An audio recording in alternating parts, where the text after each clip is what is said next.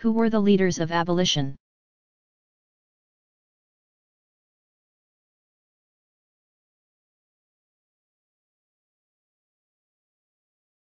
Leaders of the anti-slavery movement included journalist William Lloyd Garrison, 1805 to 1879. Founder of the influential anti-slavery journal The Liberator and of the American Anti-Slavery Society. Established 1833, Brothers Arthur, 1786 to 1865, and Lewis, 1788 to 1873, Tappan. Prominent New York merchants who were also founders of the American Anti-Slavery Society, and Theodore Dwight Weld. 1803 to 1895, leader of student protests, organizer of the American and Foreign Anti-Slavery Society. An author of the Bible Against Slavery, 1837, and other abolitionist works. Underground Railroad conductor Harriet Tubman, c. 1820 to 1913, worked against slavery by helping to free hundreds of blacks who escaped slavery in the South. Heading for northern states and Canada. Writers such as Harriet Beecher Stowe, 1811-1896, author of Uncle Tom's Cabin, 1851-52. Helped strengthen the abolitionist cause and were instrumental in swaying public sentiment. In the hands of some activists, the movement became violent. In 1859 ardent abolitionist John Brown, 1800 to 1859, led a raid on the armory at Harper's Ferry, in present-day West Virginia. Which proved a failed attempt to emancipate slaves by force.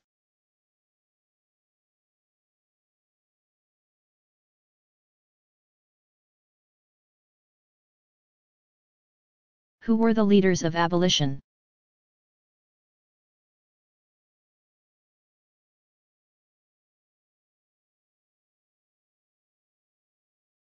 Leaders of the anti-slavery movement included journalist William Lloyd Garrison, 1805 to 1879. Founder of the influential anti-slavery journal The Liberator and of the American Anti-Slavery Society. Established 1833, Brothers Arthur, 1786 to 1865, and Lewis, 1788 to 1873, Tappan. Prominent New York merchants who were also founders of the American Anti-Slavery Society, and Theodore Dwight Weld. 1803 to 1895, leader of student protests, organizer of the American and Foreign Anti-Slavery Society. And author of the Bible Against Slavery, 1837, and other abolitionist works. Underground Railroad conductor Harriet Tubman, c. 1820 to 1913, worked against slavery by helping to free hundreds of blacks who escaped slavery in the South. Heading for northern states and Canada. Writers such as Harriet Beecher Stowe, 1811-1896, author of Uncle Tom's Cabin, 1851-52. Helped strengthen the abolitionist cause and were instrumental in swaying public sentiment. In the hands of some activists, the movement became violent. In 1859 ardent abolitionist John Brown, 1800 to 1859, led a raid on the armory at Harper's Ferry, in present-day West Virginia. Which proved a failed attempt to emancipate slaves by force.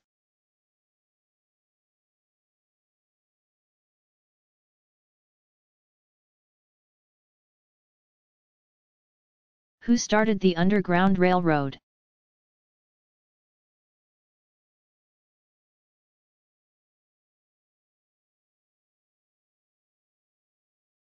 American abolitionist, lecturer, and nurse Harriet Tubman, c. 1820 to 1913, set up the network to emancipate slaves. Tubman was motivated to do so after she had made her way to freedom in 1849, and then wished the same for her family. I had crossed the line of which I had so long been dreaming. I was free, but there was no one to welcome me to the land of freedom. For the next 10 years Tubman acted as a conductor on the Underground Railroad. Making at least 15 trips into southern slave states. And guiding not only her parents and siblings, but more than 300 slaves to freedom in the North she was called the Moses of her people for her emancipation efforts. The journeys to freedom were demanding and often dangerous missions. Though Tubman was small in stature, she possessed extraordinary leadership qualities. Author, clergyman, and Army officer Thomas Wentworth Higginson 1823 to 1911, called her the greatest heroine of the age.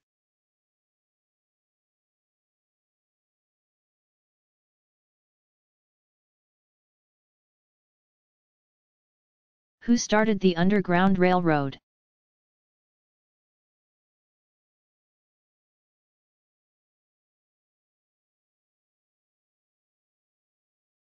American abolitionist, lecturer, and nurse Harriet Tubman, c. 1820 to 1913, set up the network to emancipate slaves. Tubman was motivated to do so after she had made her way to freedom in 1849, and then wished the same for her family. I had crossed the line of which I had so long been dreaming. I was free, but there was no one to welcome me to the land of freedom. For the next 10 years Tubman acted as a conductor on the Underground Railroad. Making at least 15 trips into southern slave states. And guiding not only her parents and siblings, but more than 300 slaves to freedom in the North. She was called the Moses of her people for her emancipation efforts. The journeys to freedom were demanding and often dangerous missions. Though Tubman was small in stature, she possessed extraordinary leadership qualities. Author, clergyman, and Army officer Thomas Wentworth Higginson 1823 to 1911, called her the greatest heroine of the age.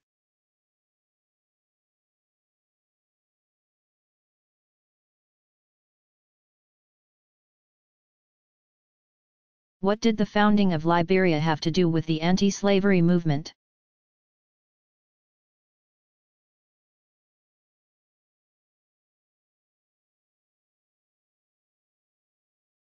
With the goal of transporting freed slaves back to their homeland. Members of the American Colonization Society, organized 1816 to 17 made land purchases on the West African coast. The holdings were named Liberia, a Latin word meaning freedom. The first black Americans arrived there in 1822. But the Society's plan was controversial. Even some abolitionists and blacks opposed it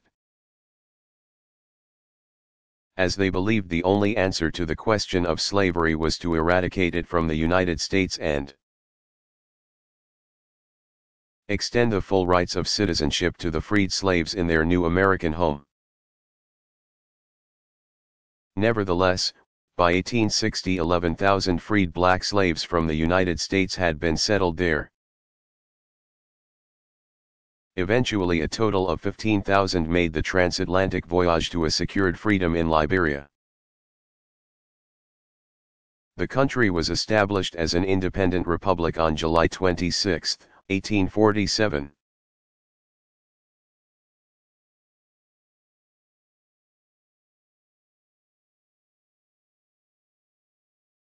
What did the founding of Liberia have to do with the anti-slavery movement?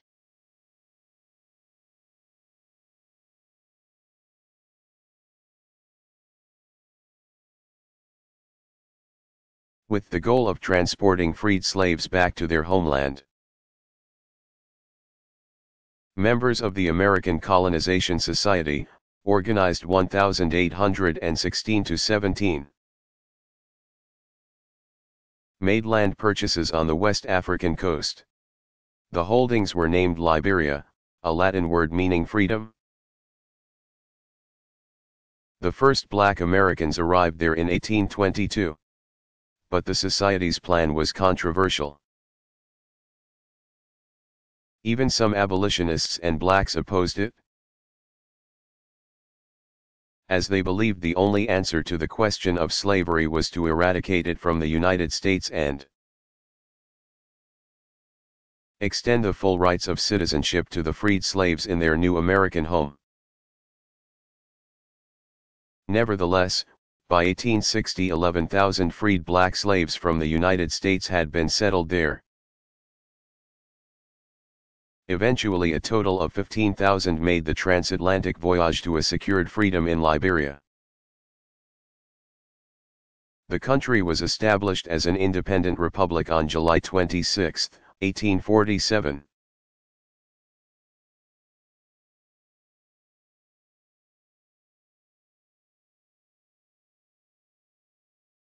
What did lawmakers do to resolve the slavery question before the Civil War?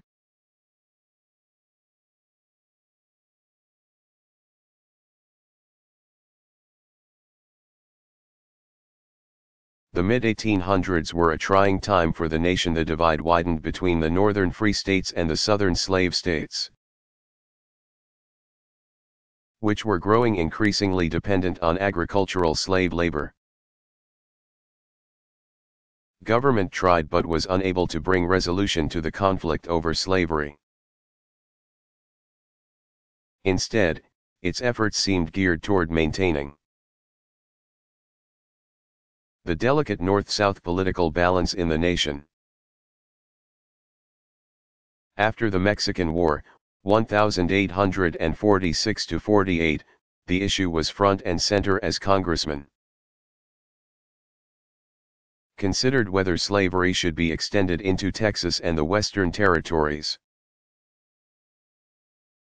Gained in the peace treaty of Guadalupe Hidalgo, which officially ended the war. Lawmakers arrived at the compromise of 1850, which proved a poor attempt to assuage mounting tensions. The legislation allowed for Texas to be admitted to the Union as a slave state. California to be admitted as a free state, slavery was prohibited, voters in New Mexico and Utah to decide the slavery question themselves. A method called popular sovereignty, the slave trade to be prohibited in Washington, D.C., and for passage of a strict fugitive slave law to be enforced nationally. Four years later, as it considered how to admit Kansas and Nebraska to the Union. Congress reversed an earlier decision, part of the Missouri Compromise of 1820, that had declared the territories north of the Louisiana Purchase to be free, and set up a dangerous situation in the new states. The slavery status of Kansas and Nebraska would be decided by popular sovereignty, the voters in each state. Nebraska was settled mostly by people opposing slavery, but settlers from both the North and the South poured into Kansas. which became the setting for violent conflicts between pro-slavery and anti-slavery forces. Both sides became determined to swing the vote by sending squatters to settle the land. Conflicts resulted, with most of them clustered around the Kansas border with Missouri, where slavery was legal. In one incident, on May 24, 1856, ardent abolitionist John Brown, 1800 to 1859, led a massacre in which five pro-slavery men were brutally murdered as they slept. The act had been carried out in retribution for earlier killings of freemen at Lawrence. Kansas, Brown claimed his was a mission of God. Newspapers dubbed the series of deadly conflicts, which eventually claimed more than 50 lives, Bleeding Kansas. The situation proved that neither congressional compromises nor the doctrine of popular sovereignty would solve the nation's deep ideological differences.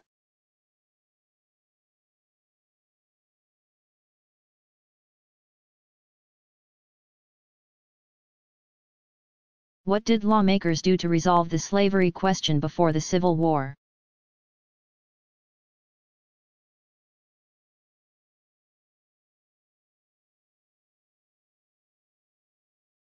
The mid-1800s were a trying time for the nation the divide widened between the northern free states and the southern slave states, which were growing increasingly dependent on agricultural slave labor. Government tried but was unable to bring resolution to the conflict over slavery. Instead, its efforts seemed geared toward maintaining the delicate North-South political balance in the nation. After the Mexican War, 1846-48, the issue was front and center as congressman considered whether slavery should be extended into Texas and the Western Territories. Gained in the peace treaty of Guadalupe Hidalgo, which officially ended the war. Lawmakers arrived at the compromise of 1850, which proved a poor attempt to assuage mounting tensions. The legislation allowed for Texas to be admitted to the Union as a slave state. California to be admitted as a free state, slavery was prohibited, voters in New Mexico and Utah to decide the slavery question themselves. A method called popular sovereignty, the slave trade to be prohibited in Washington, D.C., and for passage of a strict fugitive slave law to be enforced nationally. Four years later, as it considered how to admit Kansas and Nebraska to the Union. Congress reversed an earlier decision, part of the Missouri Compromise of 1820, that had declared the territories north of the Louisiana Purchase to be free, and set up a dangerous situation in the new states. The slavery status of Kansas and Nebraska would be decided by popular sovereignty, the voters in each state. Nebraska was settled mostly by people opposing slavery, but settlers from both the North and the South poured into Kansas. Which became the setting for violent conflicts between pro-slavery and anti-slavery forces. Both sides became determined to swing the vote by sending squatters to settle the land.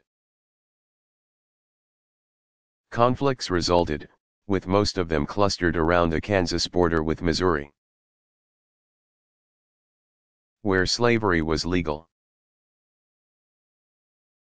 In one incident, on May 24, 1856, ardent abolitionist John Brown, 1800 to 1859, led a massacre in which five pro-slavery men were brutally murdered as they slept.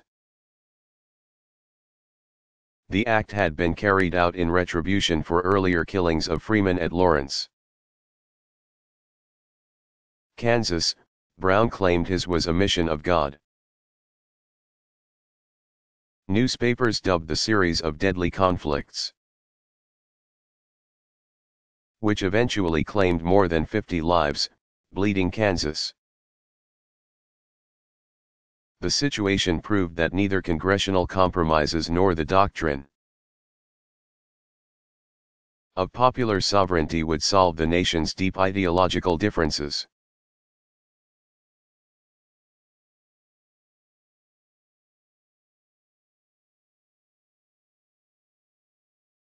Why did President Lincoln issue the Emancipation Proclamation before the end of the Civil War?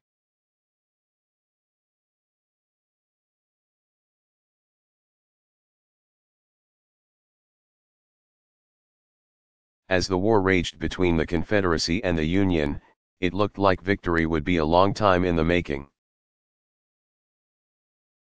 In the summer of 1862 things seemed grim for the Federal troops when they were defeated at the Second Battle of Bull Run, which took place in northeastern Virginia on August 29 to 30. But on September 17, with the Battle of Antietam, in Maryland, the Union finally forced the Confederates to withdraw across the Potomac into Virginia.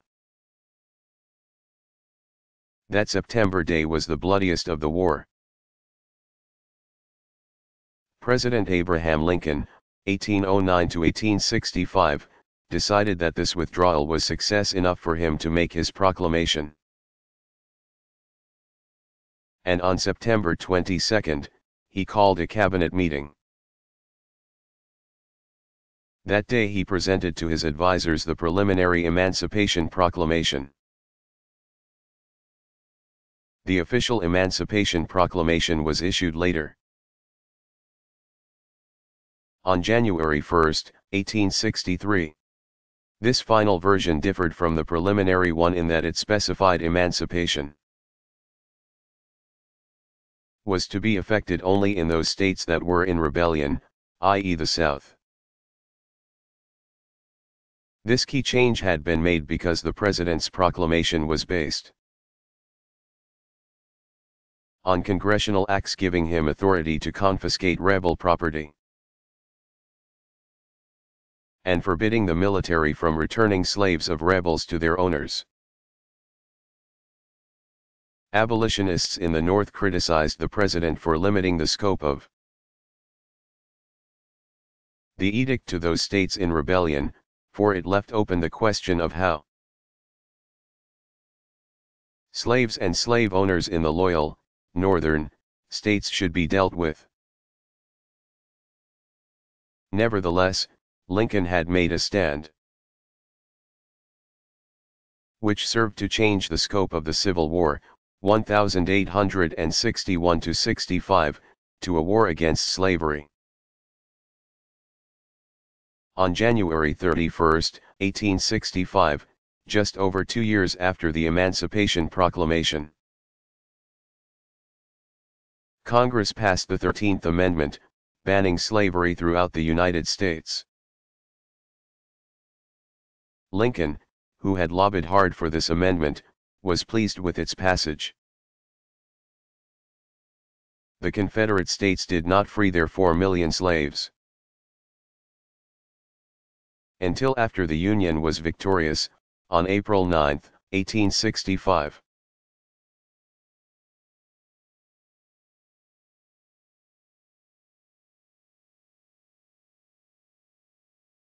Why did President Lincoln issue the Emancipation Proclamation before the end of the Civil War?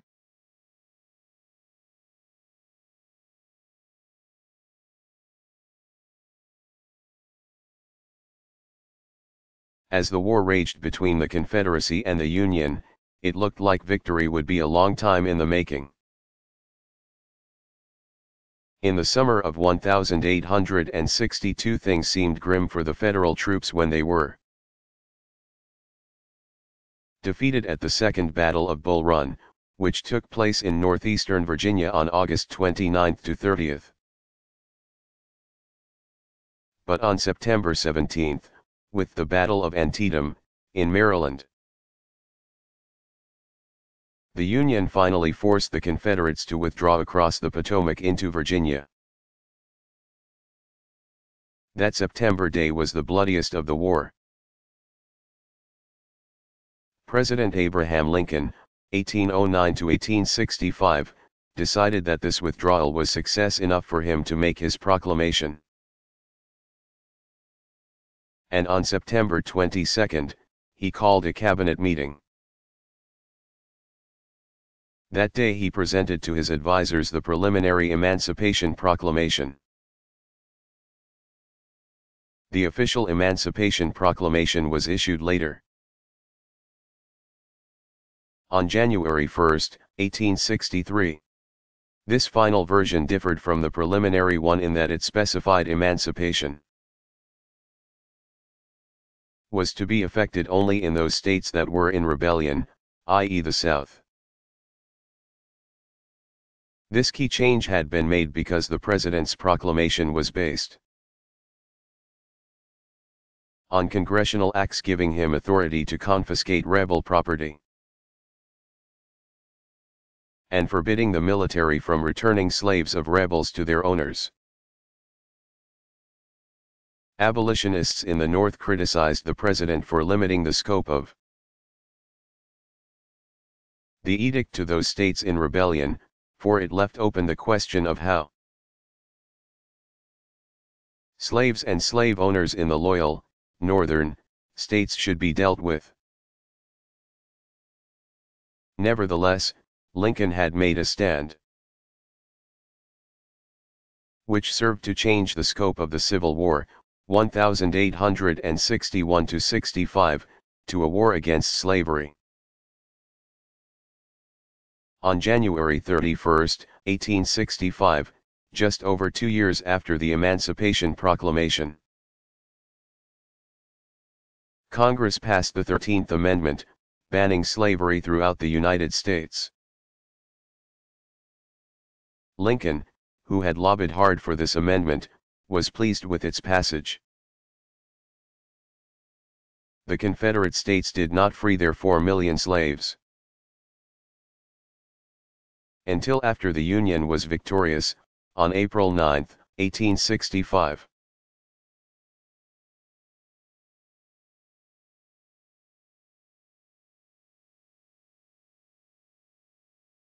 When was slavery outlawed in Europe?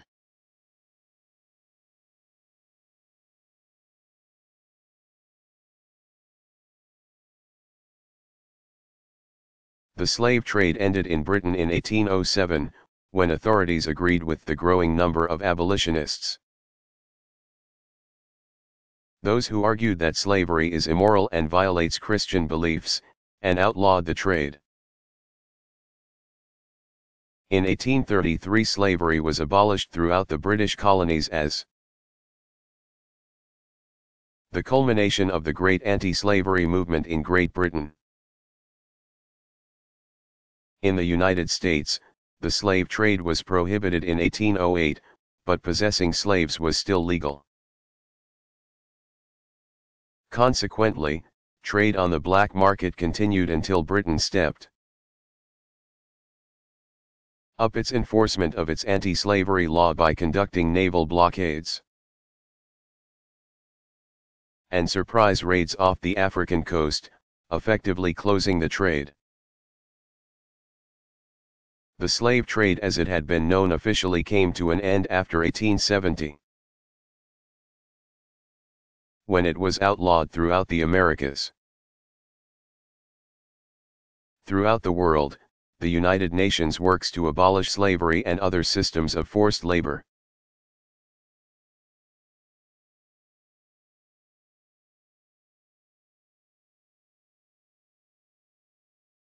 When was slavery outlawed in Europe?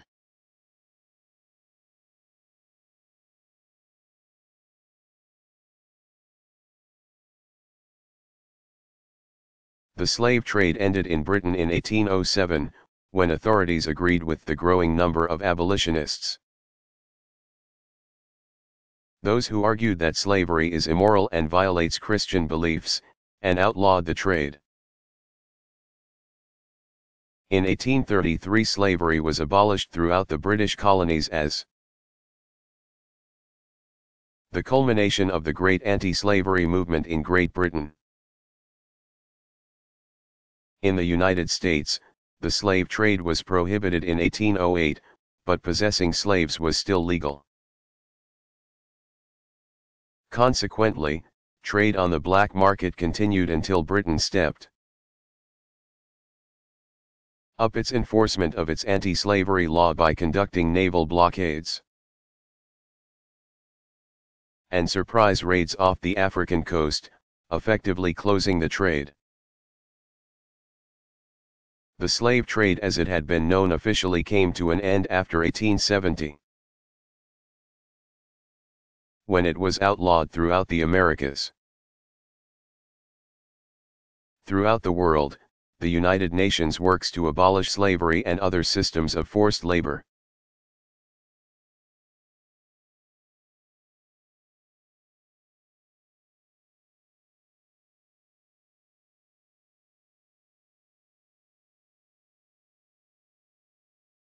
Is there slavery today?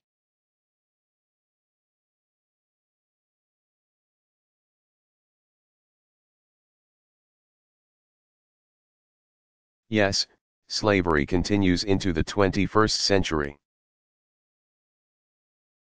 The United Nations Population Fund, UNFPA, has stated. Although slavery has been formally abolished from the world, the trade in human misery continues. Today it is called human trafficking. Estimating the size of the problem is difficult but the UNFPA estimates that about 4 million people are trafficked across international borders each year. The group also reports that the problem is widespread. But the greatest volume of human trafficking exists in Asia, with Africa and Latin America following close behind. The Asia-Pacific region is seen as particularly vulnerable. According to the United Nations Economic and Social Commission for Asia and the Pacific, UNESCAP,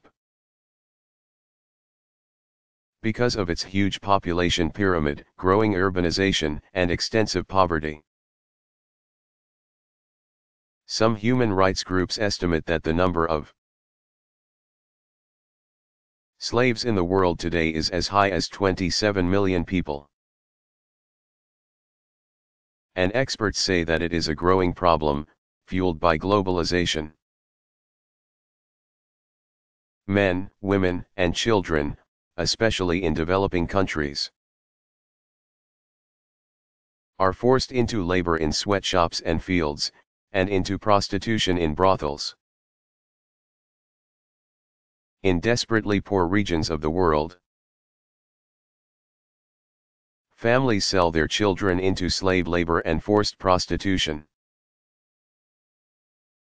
Other victims are lured in, according to the United Nations Office on Drugs and Crime. From Himalayan villages to Eastern European cities, people especially women and girls are attracted by the prospect of a well-paid job as a domestic servant, waitress, or factory worker. Traffickers recruit victims through fake advertisements. Mail order bride catalogs, and casual acquaintances. But the victims end up in situations controlled by their traffickers. And they are exploited against their wills to earn illicit revenues. By the early 2000s, human rights groups and governments were organizing to combat the increase in human trafficking. Several agencies of the United Nations work to address the roots of the problem and to aid victims. Non-government agencies were playing a role as well. One such group is Shared Hope International. Founded in 1998 by U.S. Congresswoman Linda Smith, Washington. To rescue and restore women and children in crisis by providing comprehensive services to meet their needs. Italy's government was at the forefront of the anti-trafficking movement. Offering residency permits to victims and funding local shelters through legislation passed. In 1999. In 2000 the U.S. Congress passed the Victims of Trafficking and Violence Protection Act. TVPA, declaring that sex trafficking is the modern-day slavery. Government figures estimated that each year 45,000 to 50,000 women and children were trafficked into the United States. Where they were trapped in modern-day slavery-like situations such as forced prostitution. But the trafficking problem in the United States, and elsewhere, is not limited to importing women and children from other countries.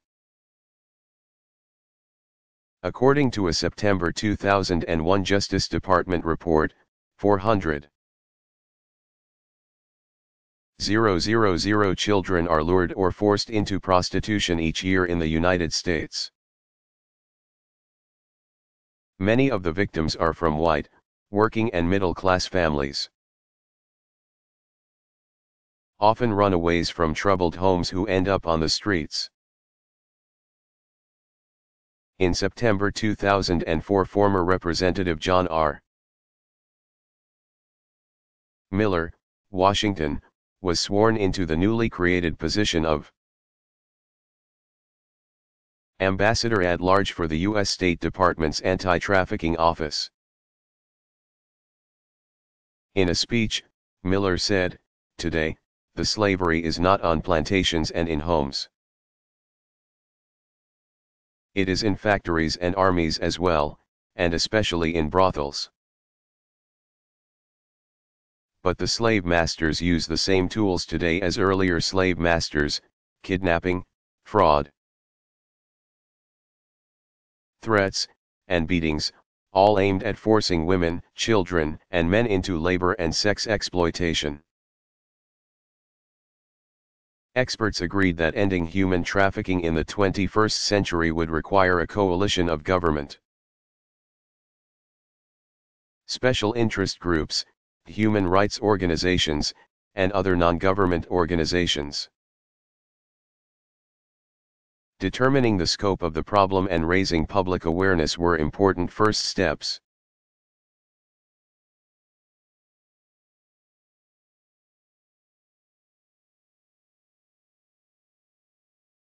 Is there slavery today?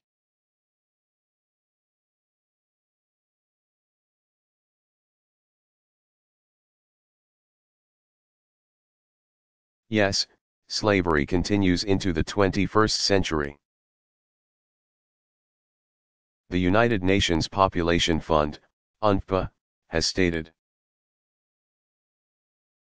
Although slavery has been formally abolished from the world, the trade in human misery continues.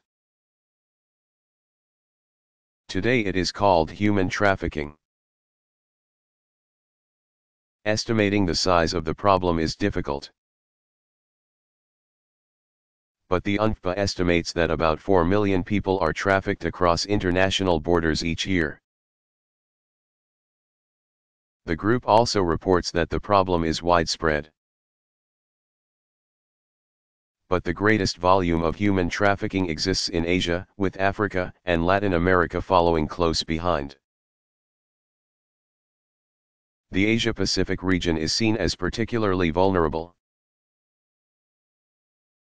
According to the United Nations Economic and Social Commission for Asia and the Pacific, UNESCAP,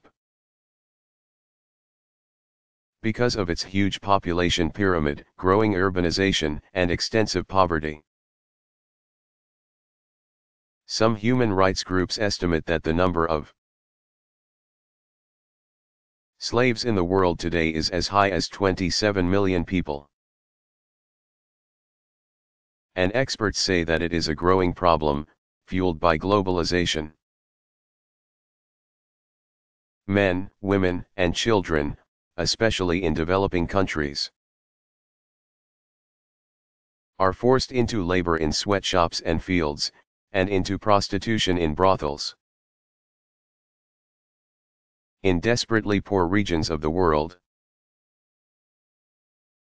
families sell their children into slave labor and forced prostitution. Other victims are lured in, according to the United Nations Office on Drugs and Crime.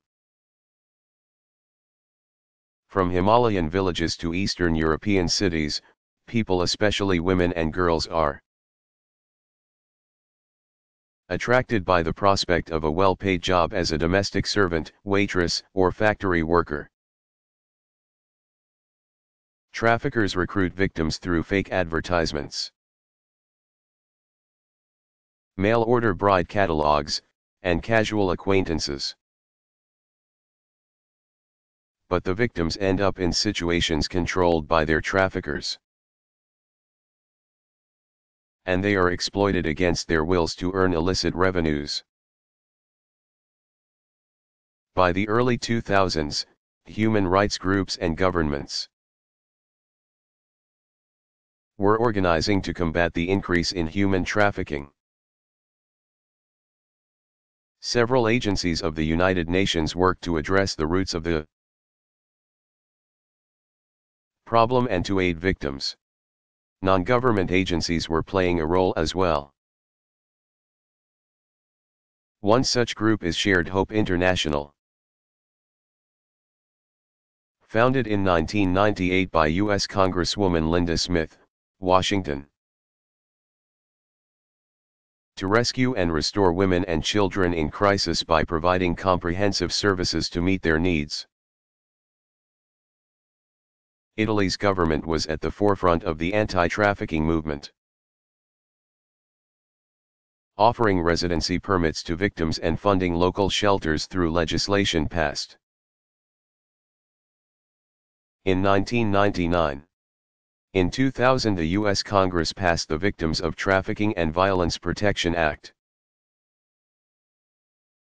TVPA, declaring that sex trafficking is the modern-day slavery.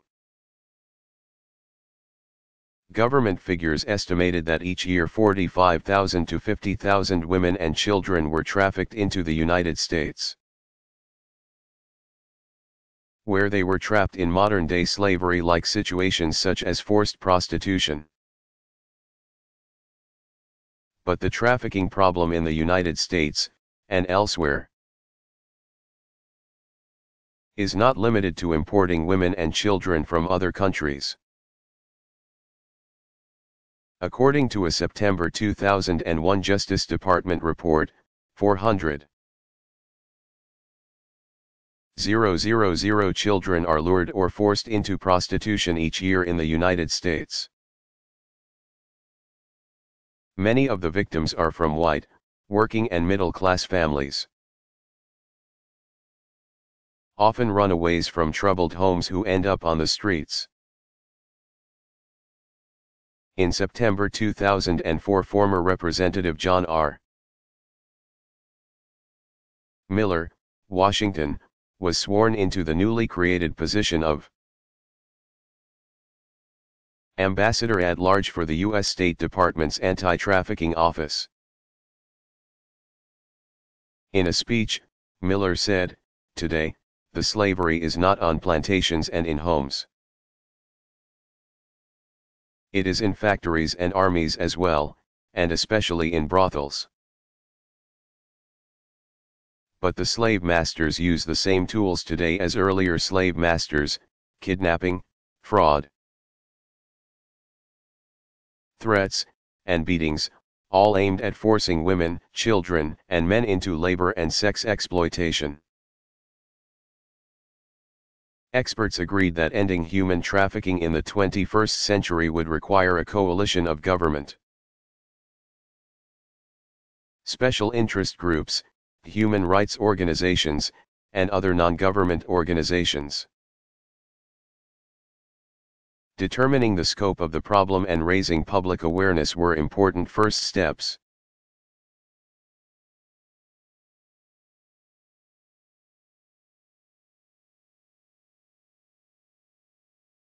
What was the Niagara movement?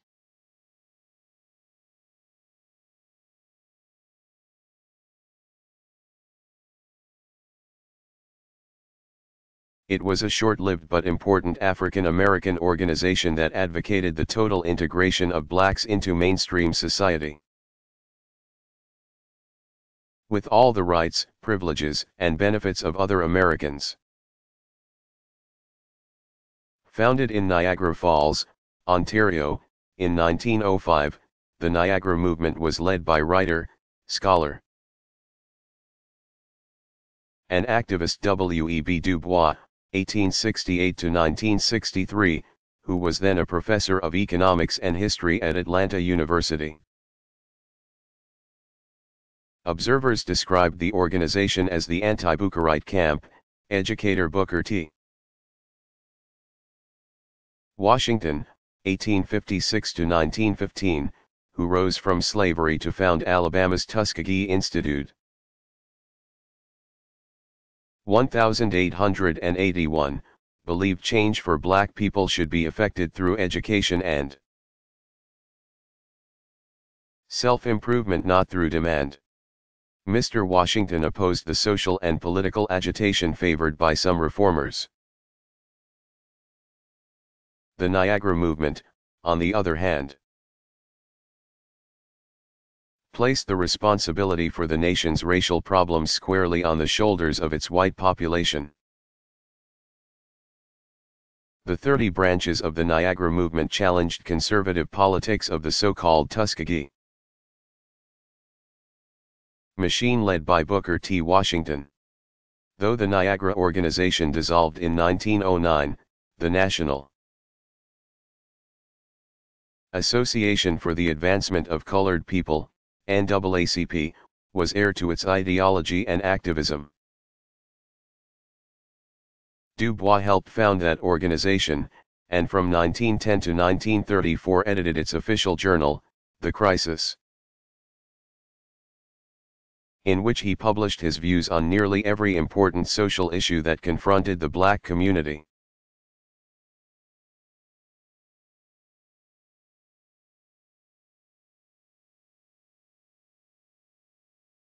What was the Niagara movement?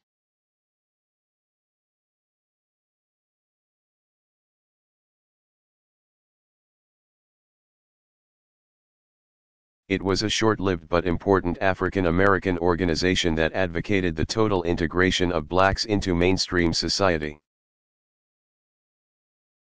With all the rights, privileges, and benefits of other Americans. Founded in Niagara Falls, Ontario, in 1905, the Niagara movement was led by writer, scholar, and activist W.E.B. Du Bois, 1868 to 1963, who was then a professor of economics and history at Atlanta University. Observers described the organization as the anti-Bookerite camp, educator Booker T. Washington, 1856 to 1915, who rose from slavery to found Alabama's Tuskegee Institute. 1881, believed change for black people should be effected through education and self-improvement not through demand. Mr. Washington opposed the social and political agitation favored by some reformers. The Niagara movement, on the other hand, placed the responsibility for the nation's racial problems squarely on the shoulders of its white population. The 30 branches of the Niagara movement challenged conservative politics of the so-called Tuskegee machine led by Booker T. Washington. Though the Niagara organization dissolved in 1909, the National Association for the Advancement of Colored People, NAACP, was heir to its ideology and activism. Du Bois helped found that organization, and from 1910 to 1934 edited its official journal, The Crisis, in which he published his views on nearly every important social issue that confronted the black community.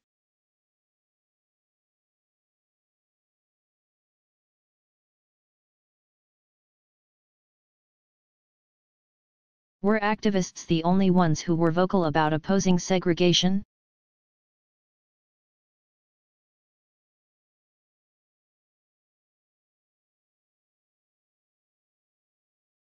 No, segregation was opposed at every level of black society, as well as by many whites.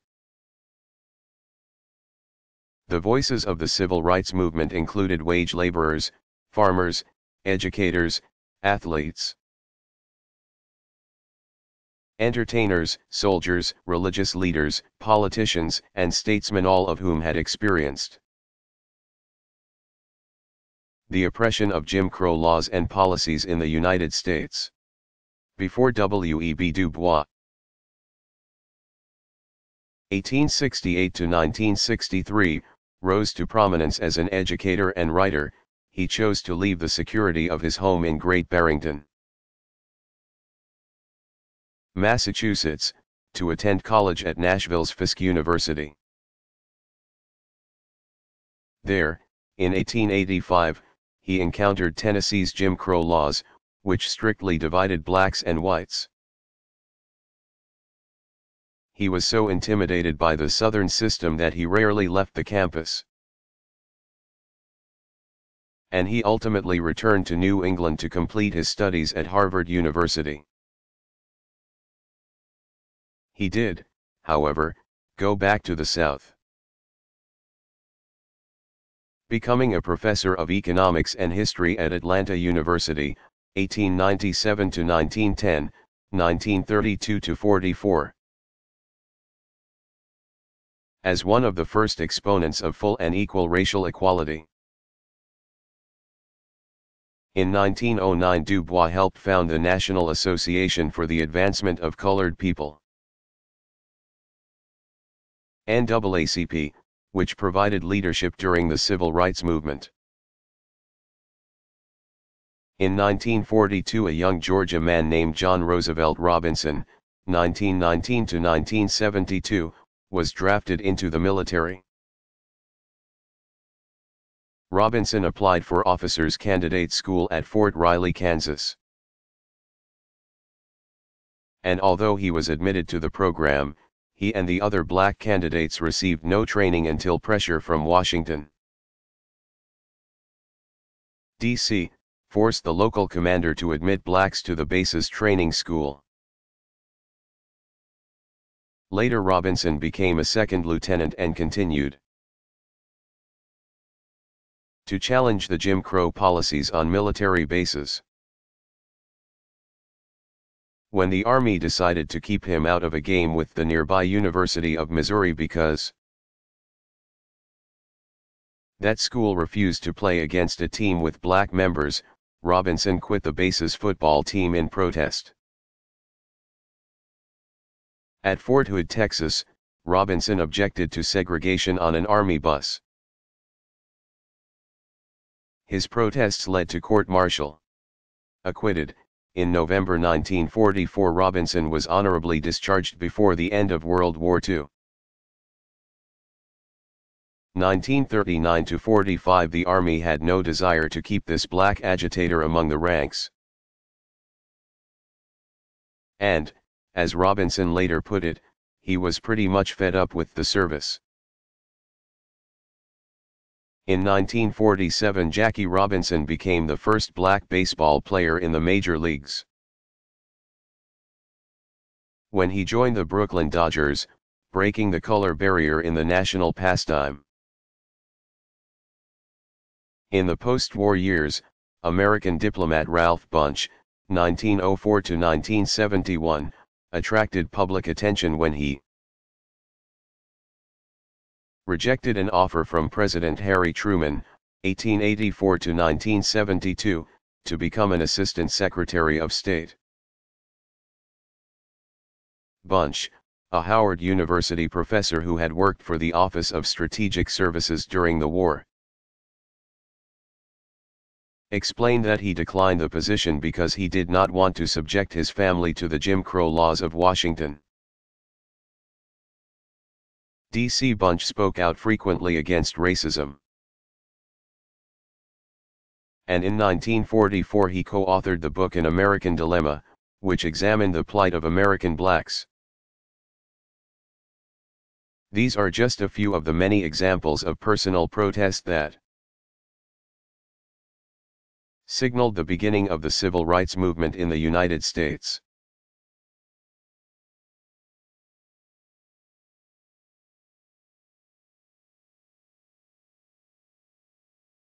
Were activists the only ones who were vocal about opposing segregation?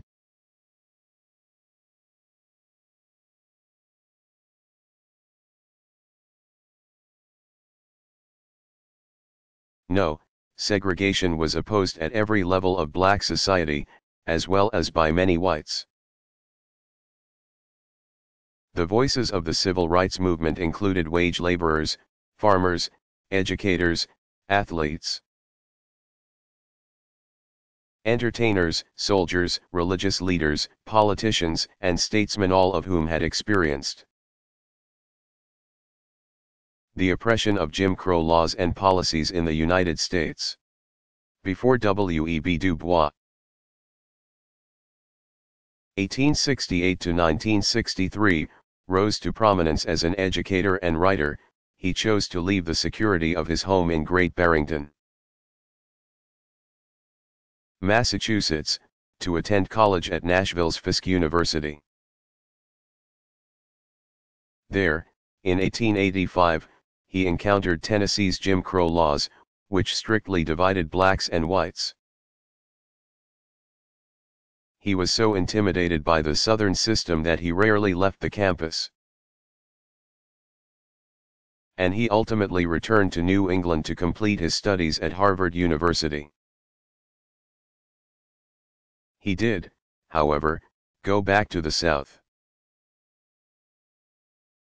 Becoming a professor of economics and history at Atlanta University, 1897 to 1910, 1932 to 44.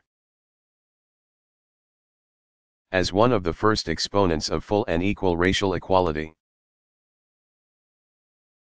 In 1909 Du Bois helped found the National Association for the Advancement of Colored People. NAACP, which provided leadership during the civil rights movement. In 1942 a young Georgia man named John Roosevelt Robinson, 1919 to 1972, was drafted into the military. Robinson applied for officers candidate school at Fort Riley, Kansas. And although he was admitted to the program, he and the other black candidates received no training until pressure from Washington. D.C., forced the local commander to admit blacks to the base's training school. Later Robinson became a second lieutenant and continued to challenge the Jim Crow policies on military bases. When the Army decided to keep him out of a game with the nearby University of Missouri because that school refused to play against a team with black members, Robinson quit the base's football team in protest. At Fort Hood, Texas, Robinson objected to segregation on an Army bus. His protests led to court-martial. Acquitted, in November 1944 Robinson was honorably discharged before the end of World War II.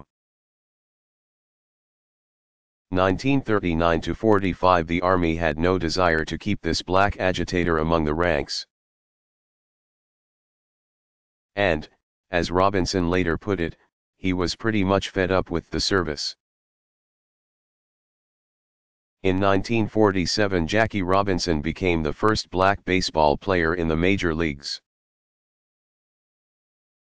When he joined the Brooklyn Dodgers, breaking the color barrier in the national pastime.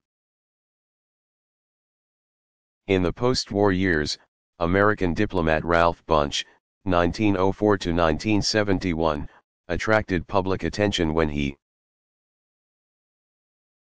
rejected an offer from President Harry Truman, 1884 to 1972, to become an Assistant Secretary of State.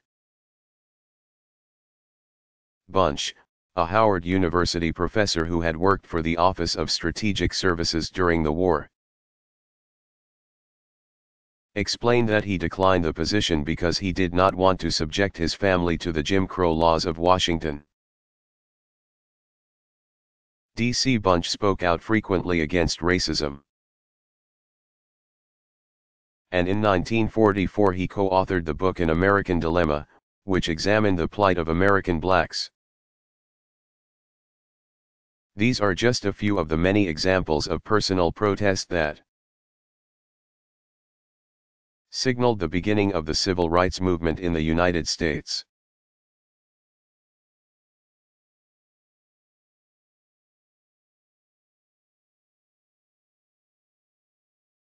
Who was Emmett Till?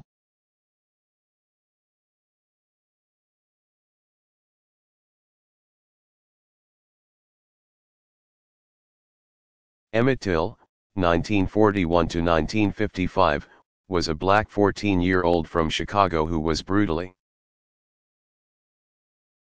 mutilated and killed in the Deep South in August 1955. The young man was visiting relatives in Mississippi when he allegedly whistled at a white female store clerk. Till was sharing a bed with his 12-year-old cousin when two white men came to get him on the morning of August 28, he was not seen alive again. His body was later found in a river, tied to a cotton gin fan with barbed wire. An all-white jury acquitted the store clerk's husband, Roy Bryant, and half-brother. J.W. Milam, of the crime. The events stirred anger in the black community and among civil rights proponents in general, setting off the civil rights movement. For four decades, Till's grisly murder continued to deeply trouble many who believed justice could still be served. Though no one was ever convicted of the crime, and the two men who were tried for it had. By 2005, died, some of Till's family and friends. As well as investigators, believed others who participated in the lynching might still be alive. In a quest for clues, Till's body was disinterred in June 2005 to gather evidence. He was reburied in a quiet funeral. The Till family hoped the pending investigation would yield answers and justice.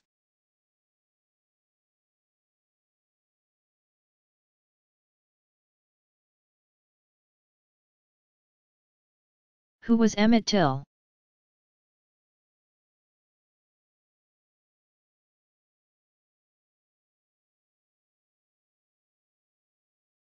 Emmett Till, 1941 to 1955, was a black 14-year-old from Chicago who was brutally mutilated and killed in the Deep South in August 1955. The young man was visiting relatives in Mississippi when he allegedly whistled at a white female store clerk. Till was sharing a bed with his 12-year-old cousin when two white men came to get him on the morning of August 28, he was not seen alive again. His body was later found in a river, tied to a cotton gin fan with barbed wire. An all-white jury acquitted the store clerk's husband, Roy Bryant, and half-brother. J.W. Milam, of the crime. The events stirred anger in the black community. And among civil rights proponents in general, setting off the civil rights movement. For four decades, Till's grisly murder continued to deeply trouble many who believed justice could still be served. Though no one was ever convicted of the crime, and the two men who were tried for it had.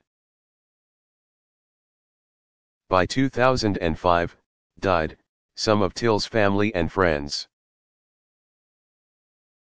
As well as investigators, believed others who participated in the lynching might still be alive. In a quest for clues, Till's body was disinterred in June 2005 to gather evidence. He was reburied in a quiet funeral.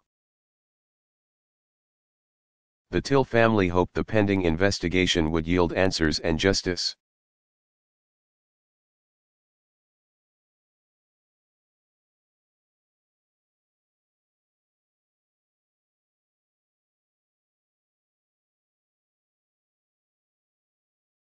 How did the civil rights movement begin?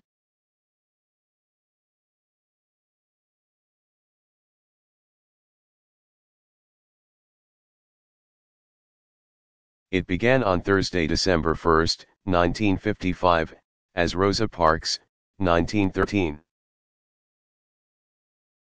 A seamstress who worked for a downtown department store in Montgomery, Alabama, made her way home on the Cleveland Avenue bus. Parks was seated in the first row that was designated for blacks. But the white rows in the front of the bus soon filled up. When Parks was asked to give up her seat so that a white man could sit, she refused. She was arrested and sent to jail. Montgomery's black leaders had already been discussing staging a protest against racial segregation on the city buses. They soon organized, with Baptist minister Martin Luther King Jr. 1929 to 1968, as their leader. Beginning on December 5, 1955, thousands of black people refused to ride the city buses, the Montgomery bus boycott had begun. It lasted more than a year 382 days and ended only when the U.S. Supreme Court ruled that segregation on the buses was unconstitutional. The protesters and civil rights activists had emerged the victors in this there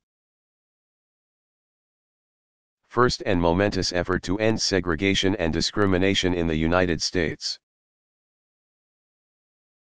Parks, who lost her job as a result of the arrest, later explained that she had acted on her own beliefs that she was being unfairly treated. But in so doing Parks had taken a stand and had given rise to a movement.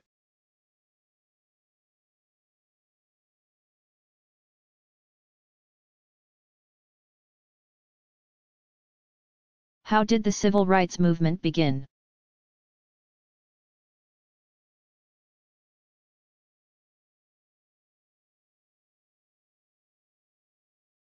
It began on Thursday, December 1, 1955, as Rosa Parks, 1913. A seamstress who worked for a downtown department store in Montgomery, Alabama, made her way home on the Cleveland Avenue bus. Parks was seated in the first row that was designated for blacks. But the white rows in the front of the bus soon filled up. When Parks was asked to give up her seat so that a white man could sit, she refused. She was arrested and sent to jail. Montgomery's black leaders had already been discussing staging a protest against racial segregation on the city buses. They soon organized, with Baptist minister Martin Luther King Jr. 1929 to 1968, as their leader.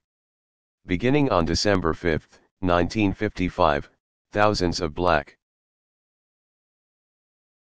people refused to ride the city buses, the Montgomery bus boycott had begun. It lasted more than a year 382 days and ended only when the U.S. Supreme Court ruled that segregation on the buses was unconstitutional. The protesters and civil rights activists had emerged the victors in this there first and momentous effort to end segregation and discrimination in the United States. Parks, who lost her job as a result of the arrest. Later explained that she had acted on her own beliefs that she was being unfairly treated. But in so doing Parks had taken a stand and had given rise to a movement.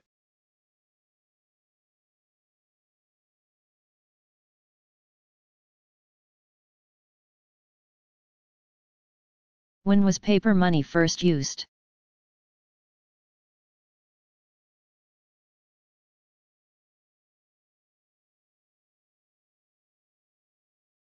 Paper money first appeared in China during the Middle Ages, 500-1350. In the 9th century AD, paper notes were used by Chinese merchants as certificates of exchange and later, for paying taxes to the government. It was not until the 11th century, also in China, that the notes were backed by deposits of silver and gold, called hard money.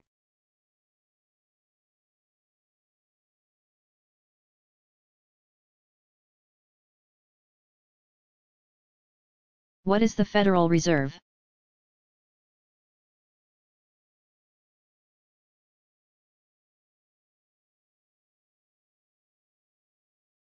It is the central banking system in the United States, created by a 1913 Act of Congress. The Federal Reserve Act, sometimes called the Glass-Owens Bill. The legislation provided for a stable central banking system after the system set up by the National Bank Act of 1863 proved ineffective in managing the nation's currency. In responding to economic growth, or in exerting a controlling influence on the economy. The Federal Reserve Act created 12 regional Federal Reserve banks, in Boston, Massachusetts, New York, Philadelphia, Pennsylvania, Cleveland, Ohio, Richmond, Virginia, Atlanta, Georgia, Chicago, St. Louis, Missouri, Minneapolis, Minnesota, Kansas City, Missouri, Dallas, Texas, and San Francisco, California. These institutions operate as bankers' banks, member banks, commercial institutions. Use their accounts with the Federal Reserve in the same way that consumers use their accounts on deposit at commercial banks. All national banks must be members of the Federal Reserve System. State banks may join the system upon meeting certain requirements. The Federal Reserve Act also established a Federal Reserve Board. Now called the Board of Governors, to supervise the system. The board consists of seven members who are appointed by the President of the United States and are approved by the Senate.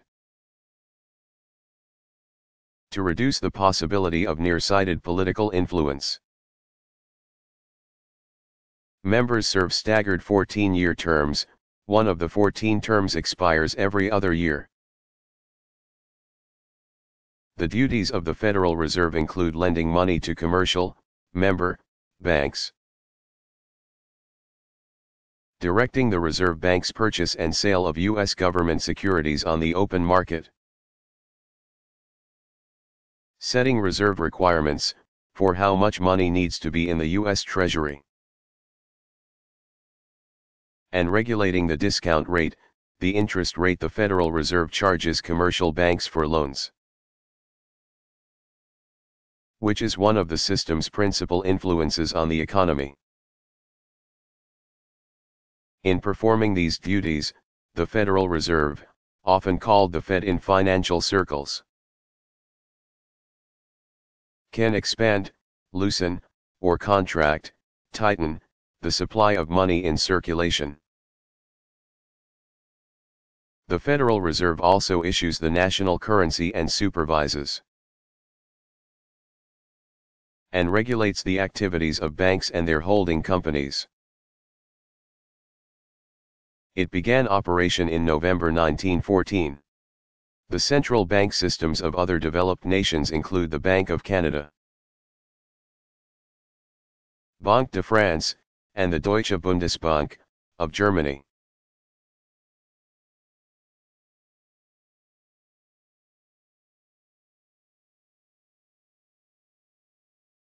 Why was the introduction of plastic important to industry?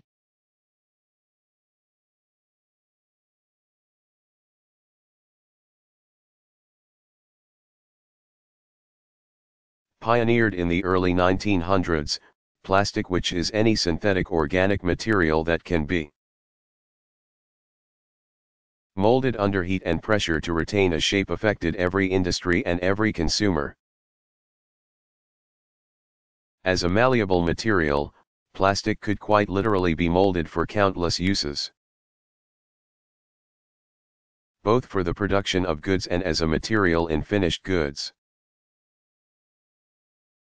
In 1909 Bakelite plastic was introduced, and over the next three decades the plastics industry grew.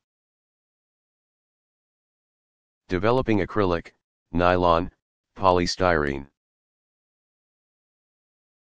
and vinyl, polyvinyl chloride or PVC, in the 1930s, and polyesters in the 1940s.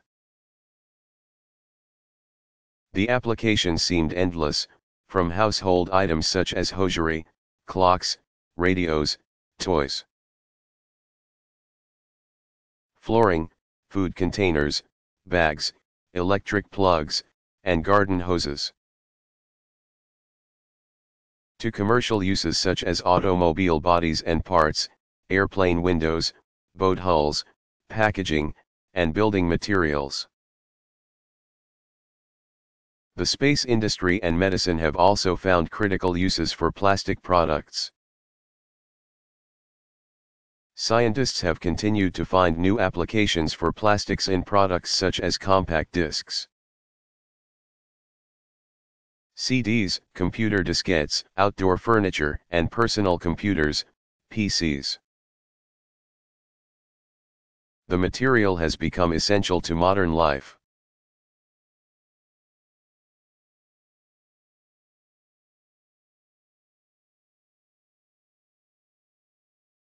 When did the anti-slavery movement begin?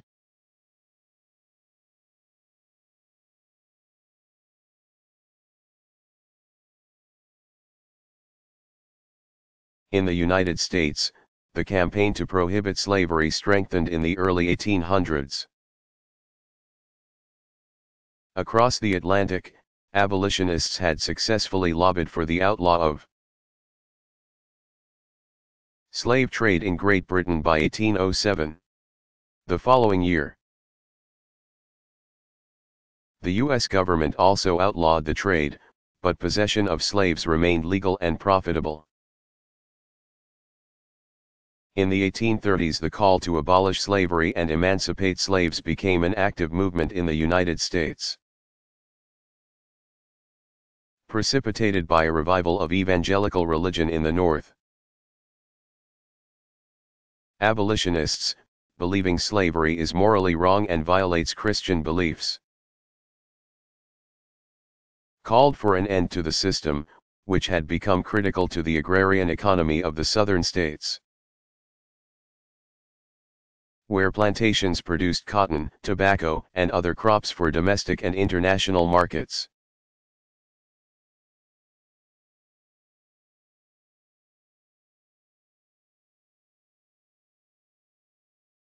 What was the 1990s boom?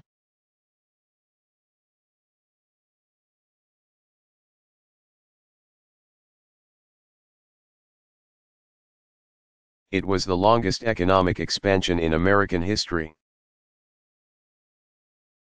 According to accepted economic indicators, the boom began in March 1991, when the first President Bush was in office, and ended in March 2001. When President George W. Bush was in office. Eight years of the expansion were during the Clinton administration. The hallmarks of the 1990s boom were the creation of almost 24 million jobs, or an average of 200,000 jobs a month, a national unemployment rate that dropped to around 4% for an extended period. Productivity gains month over month, gross domestic product, GDP, growth month over month. Unprecedented investment in the stock market, Wall Street added $10 trillion in wealth over the decade. A bull market fueled by $100 billion in initial public offerings, IPOs, many of them technology stocks. Low interest rates, a low inflation rate averaging 2.6% per year, the elimination of the federal budget deficit and the addition of dollars to the paychecks of many American workers.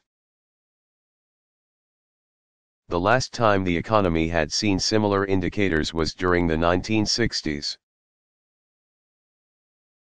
But in January 2000 the boom surpassed all others to become the longest sustained expansion in U.S. history. Economists considered the factors that contributed to the boom. A Christian Science Monitor writer credited a combination of ubiquitous American entrepreneurial spirit, massive amounts of technology, and a man named Greenspan. But Alan Greenspan, the chairman of the Federal Reserve, which controls interest rates, credited information technology as the defining factor of this special period. Its major contribution is to reduce the number of worker hours required to produce the nation's output, said Greenspan. The boom ended in March 2001, along with the end of the dot-com bubble. The nation began a short recession, which ended November 2001, according to economic indicators. The economy then began a slow, and by most indicators, weak recovery.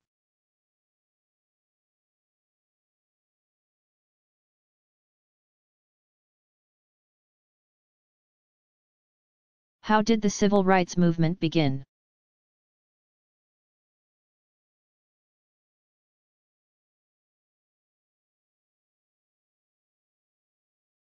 It began on Thursday, December 1, 1955, as Rosa Parks, 1913. A seamstress who worked for a downtown department store in Montgomery, Alabama, made her way home on the Cleveland Avenue bus. Parks was seated in the first row that was designated for blacks. But the white rows in the front of the bus soon filled up. When Parks was asked to give up her seat so that a white man could sit, she refused. She was arrested and sent to jail. Montgomery's black leaders had already been discussing staging a protest against racial segregation on the city buses. They soon organized, with Baptist minister Martin Luther King Jr.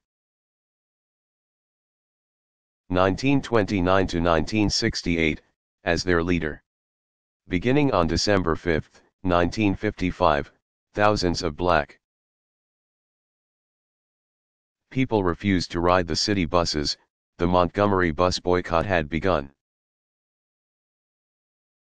It lasted more than a year 382 days and ended only when the U.S. Supreme Court ruled that segregation on the buses was unconstitutional. The protesters and civil rights activists had emerged the victors in this there first and momentous effort to end segregation and discrimination in the United States. Parks, who lost her job as a result of the arrest, later explained that she had acted on her own beliefs that she was being unfairly treated. But in so doing Parks had taken a stand and had given rise to a movement.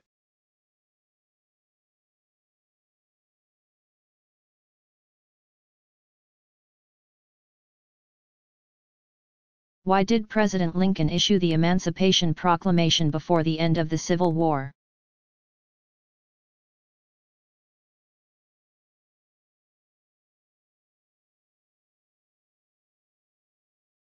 As the war raged between the Confederacy and the Union, it looked like victory would be a long time in the making.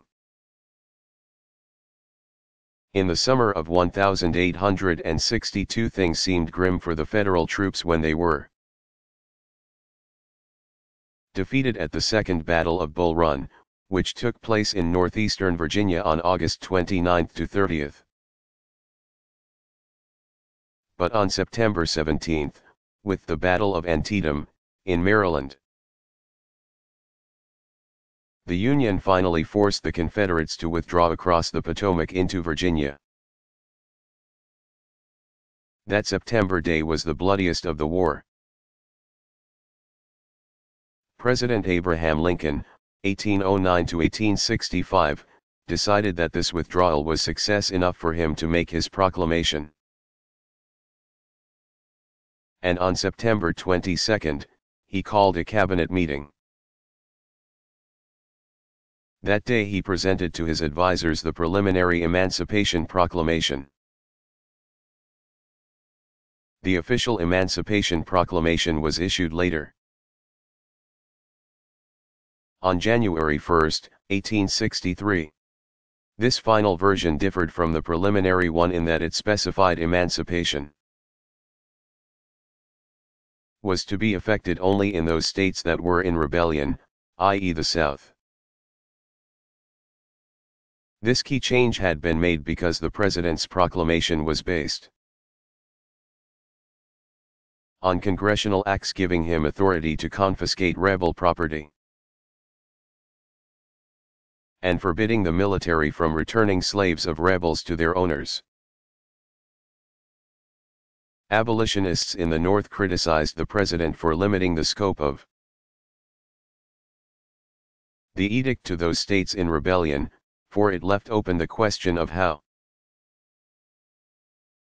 slaves and slave owners in the loyal, northern, states should be dealt with. Nevertheless, Lincoln had made a stand which served to change the scope of the Civil War, 1861 to 65, to a war against slavery. On January 31, 1865, just over two years after the Emancipation Proclamation, Congress passed the 13th Amendment, banning slavery throughout the United States. Lincoln, who had lobbied hard for this amendment, was pleased with its passage. The Confederate States did not free their 4 million slaves. Until after the Union was victorious, on April 9, 1865.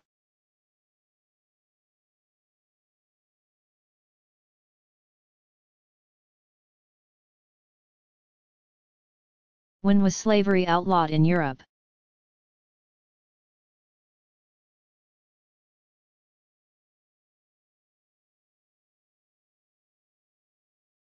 The slave trade ended in Britain in 1807, when authorities agreed with the growing number of abolitionists. Those who argued that slavery is immoral and violates Christian beliefs, and outlawed the trade. In 1833 slavery was abolished throughout the British colonies as the culmination of the great anti-slavery movement in Great Britain. In the United States, the slave trade was prohibited in 1808, but possessing slaves was still legal. Consequently, trade on the black market continued until Britain stepped up its enforcement of its anti-slavery law by conducting naval blockades and surprise raids off the African coast, effectively closing the trade. The slave trade as it had been known officially came to an end after 1870. When it was outlawed throughout the Americas. Throughout the world, the United Nations works to abolish slavery and other systems of forced labor.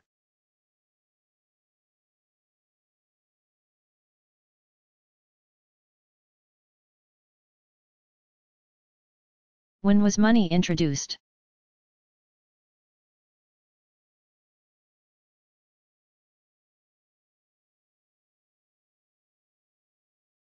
The use of money dates back some 4,000 years, when people began using something of recognized value. Such as precious metals including gold and silver, to purchase goods and services. In the absence of money, all transactions were made on the barter system. Which is an exchange of goods and services negotiated by the parties involved. The introduction of money simplified the acquisition of products and services. The ancient country of Lydia, in the western part of Asia Minor, modern-day Turkey, is credited with the first use of standardized coins, made of gold and silver, in the 7th century BC.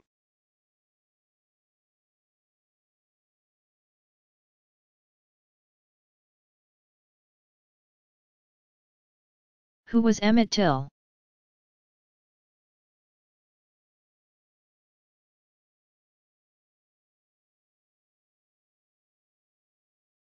Emmett Till, 1941 to 1955, was a black 14-year-old from Chicago who was brutally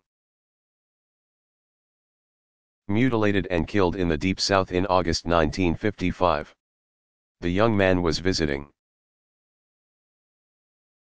relatives in Mississippi when he allegedly whistled at a white female store clerk. Till was sharing a bed with his 12-year-old cousin when two white men came to get him on the morning of August 28, he was not seen alive again.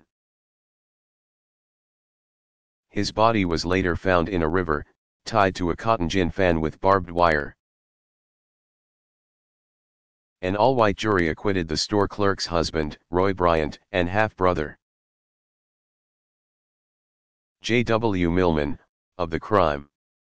The events stirred anger in the black community. And among civil rights proponents in general, setting off the civil rights movement.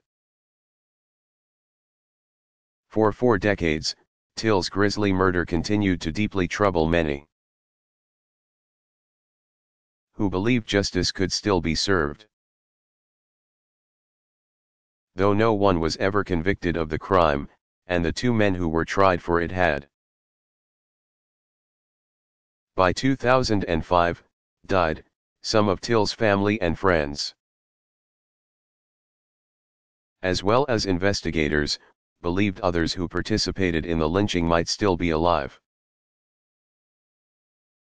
In a quest for clues, Till's body was disinterred in June 2005 to gather evidence. He was reburied in a quiet funeral. The Till family hoped the pending investigation would yield answers and justice.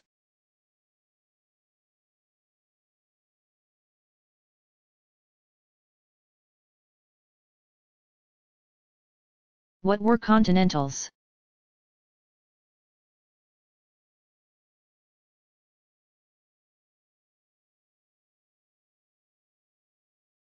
Continentals were the paper money issued by the U.S. government during the American Revolution, 1775 to 83. The Second Continental Congress, which governed the new nation after the Declaration of Independence. 1776, ran the war effort against Great Britain the governing body did not have the power to levy taxes, since no constitution had been drawn up yet. So the Congress appealed to each state to contribute to the war fund. However, states that did not face imminent danger those in which there was no fighting often did not answer the call. Many of the new nation's most prominent citizens remained loyal to the British and refused to contribute money to the American patriotic cause. Yet money was needed to buy supplies and ammunition, and to pay soldiers. In order to finance the revolution, Congress was compelled to issue paper bills which promised holders future payment in silver. But as Congress issued more and more continentals, the currency became devalued because there was not enough silver to back up the promised payments. By 1780 there were so many continentals in circulation that they had become almost worthless. The phrase not worth a continental was used by Americans to describe anything that had no value. To help solve the financial crisis, some patriotic citizens contributed sums of money.